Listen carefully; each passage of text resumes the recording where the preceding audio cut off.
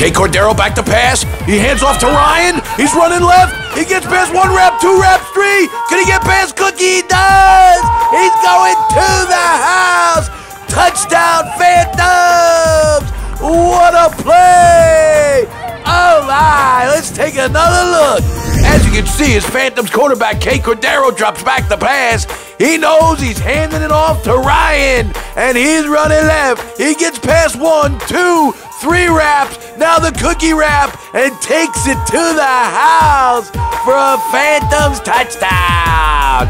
What a play by another incredible athlete, only here in the BMFL. Oh my.